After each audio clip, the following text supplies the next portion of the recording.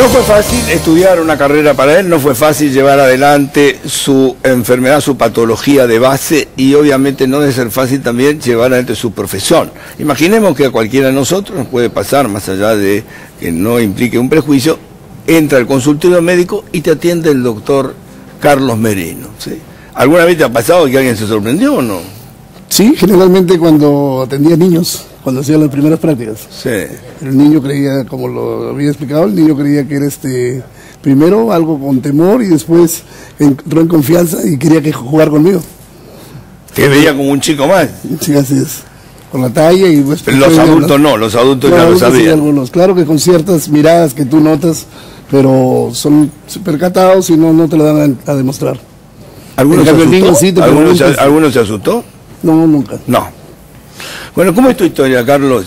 Pues, digamos, tu vocación era ser médico, tuviste el impedimento físico, este, fue, yo te oí que creo que había sido más una voluntad de tu padre, que vos querías, que vos querías contribuir, digo, que tenía la fantasía de tener un hijo médico. Eso ayudó, pero como te digo, o sea, yo, yo nazco con una discapacidad, la discapacidad que nazco es el ser una persona de talla corta, en otra palabra, lo común, el enano. Hay varios tipos de enanos, enanos hipotiroideos, enano acondroplásico. El caso mío es de acondroplasia clínica.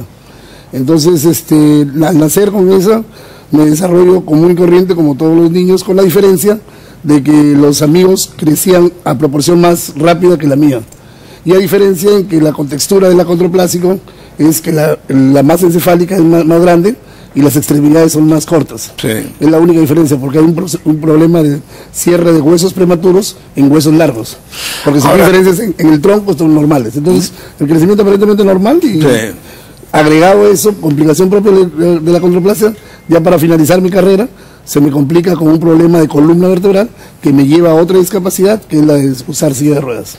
O sea, perdiste la posibilidad de caminar. Antes caminabas normalmente. exactamente. Poco a poco. Sí, ¿A qué edad perdiste esa Desde los 23 años fui notando pérdida de fuerzas, ya no corría, ya no te jugaba un partido de fútbol, ya no te corría tres, tres cuadras corriendo rápido, tenía que hacer pausas después a los 24, 25 años, ya progresivamente notaba que ya no podía subir escaleras, hasta que incluso por cuestiones, relaciones, llegué a, a los mejores neurocirujanos de Perú, y en ese entonces recién había una resonancia magnética, me viajé a Estados Unidos, me sacaron una resonancia y confirmaron que deberían operarme para evitar que me siga más rápido el, proceso de la controplasia que no me dejaban este, conducir y que tenía problemas a nivel inferior de, de médula. Sí.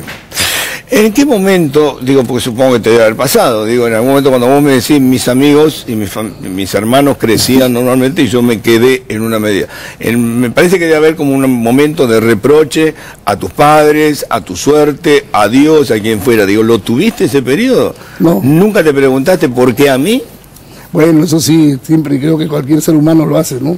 Sí, incluso he llegado a momentos a veces tristes o analizar, meditar o hasta tirar, a llegar quizás a la depresión, a un poco a, deprimirme, pero no, creo que las condiciones en la vida, Dios creo que me las ponía, porque una de las fortalezas era de, haber ser el hecho de haber sido el, último de cinco hermanos mayores que eran los que prácticamente este, me trataron como un ser humano, eh, no tenía esas características. Y cuando iba al colegio, aparte de haber nacido en una familia este, respetada, una familia acomodada en mi departamento de Tumbes, eso me permitió también que haya un mayor respeto. Y con la personalidad que yo iba, iba desarrollando, me, ayudó a... una fortaleza, digamos.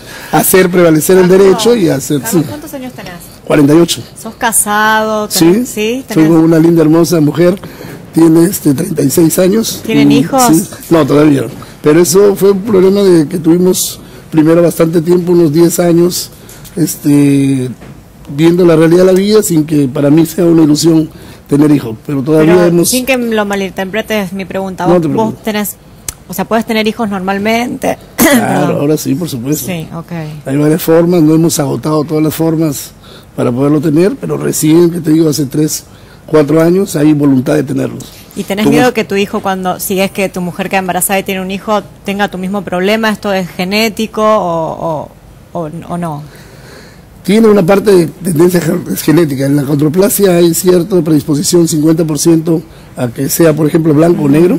Y igual hay parejas de controplásicos que tienen hijos aparentemente de talla normal, pero en un inicio, te voy, te voy a ser sincero, se me cruzaba ese temor. Pero hoy no, enfáticamente te lo digo que no, porque sería negarme a mí mismo. Claro. ¿le puedo preguntar algo como, como papá? Soy sí, señor, por supuesto, ¿cómo no le vas a preguntar? más que nada, veo más pediatras que cualquier otra especialidad. Mm. Eh, y a veces es muy difícil generar un vínculo entre el pediatra y entre los chicos, que haya empatía o a veces hay hasta temor. Eh, por tu condición, eh, ¿cómo se da ese vínculo con los chicos? ¿Te sienten más cercano? Eh, quieren jugar, dijo eso, ¿no? Yo creo que tengo esa virtud o esa cualidad que Dios me ha dado porque no solamente los niños, en, la gente y lo percibo. Y en la espontaneidad que los chicos tienen, que a veces son muy francos, no, no, filtran nada. ¿Pasó alguna vez lo contrario? ¿Por ahí se asustan o algo? No. No, claro, hay ciertas personalidades, hay niñitos que de frente se, asustan, porque incluso entrando al consultorio, entran y se voltean a los brazos de la madre y cosas de eso que tienes que irlo superando. Pero... ¿Cómo lo sobrellevas eso? ¿Tenés algunos trucos, algunos tips preparados? Sí, son cuestiones de ya también, o, la, en la misma experiencia uno los desarrolla y aparte, como te digo, yo creo que es este, un don que, que lo sé llevar y lo sé cultivar en cualquier escenario donde yo pueda estar trato de, poder llevar eso y creo que me da resultados. Lo que es bárbaro, sin duda, digo, me parece que han sido tus padres, no tu familia, porque digo, llevarlo con la normalidad, es lo que dice que se sintió realmente muy acompañado por eso, por chicos hermanos que lo trataban como uno más, este, y con tus padres que te dieron la fortaleza, ¿no? Es muy impresionante eso. Eso te da la seguridad, digo, más allá de su, su, su, patología de base. Claro, especialmente mi padre, ahí viene la pregunta inicial que no te la terminé de responder, es que él, o sea, siempre apostó por mí y él fue el que verdaderamente yo noté entre mis hermanos mayores que él sí quería, o sea, reforzaba, que había querido tener, después me enteré que mi hermano el mayor había hecho muchos intentos, había pasado por muchas universidades, que él es muy inteligente, pero no había podido culminar la carrera de medicina. ¿Pero que lo viviste como un mandato de, tu, de tus padres? No, no, no, voluntad. o, eras médico por vocación propia, digamos. Por vocación. A veces por mandato de los padres uno termina no, no, no, no, eso absolutamente ni hablar, porque incluso tenía yo varias opciones. Como éramos una familia acomodada, yo podía tener un negocio y no no exigirme estudiar.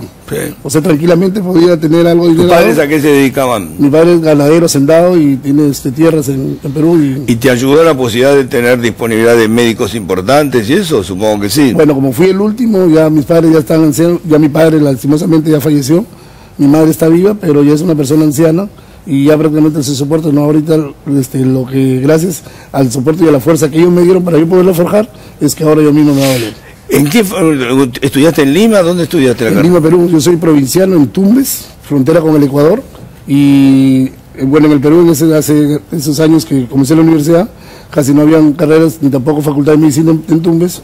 Tuve, que viajar, este, un provinciano más, pensionista. Y cuando piso la universidad, desde la academia, los médicos, todo, y efectivamente vivo la carrera de medicina, me doy cuenta que efectivamente si es algo que, que no estoy equivocado, y bajo los obstáculos que comienzas tú, las premédicas, las mismas este, prácticas hospitalarias y el mismo internado, que ya es tu decisión final para probarte que, que sales expedito de médico con las condiciones académicas y físicas necesarias, este, pude reafirmar que es una carrera hermosísima y que va a la par de ser una carrera solidaria, una carrera científica. ¿Te fue fácil, digo, con tus compañeros? ¿Te aceptaron enseguida? ¿Tuviste algún tipo de discriminación o no? Este, como te digo, hasta con los amigos, tengo esa cualidad que también veo, que tengo muy buenos amigos y ahí tuve muy buena gente que incluso ellos se preocupaban y cuando en los momentos que me iban a operar o que tenían mis controles médicos, me decían, sí, chato, te llevo las, clases grabadas o algo, pero aparte tenía un amigo de la infancia que hasta ahora, tenemos ya los 48 años, hemos sido casi en el mismo barrio, nos frecuentamos y hasta ahora somos paños de lágrimas los dos, en el sentido de podernos apoyar anímicamente o este vivencialmente sobre problemas que cada uno vamos En tu infancia vos caminabas, fuiste a la escuela normal, hiciste primario, secundario, todo ese, Con una pequeña diferencia que comencé a caminar a los dos años. A los dos años. Sí, eso fue el primer síntoma que a mis padres les llamó la atención, lejos de la morfología que veían que tenían el cráneo un poquito más grande que los demás ciudadanos y las extremidades más cortas. O sea, no se dieron cuenta cuando vos naciste Aparentemente no. O sea, a partir de los dos años. ¿Y tú eh, tu paso por el colegio, ¿cómo fue? ¿Te sentiste discriminado? ¿Te fue difícil? ¿Fuiste aceptado? Porque viste que los chicos son mm. como crueles.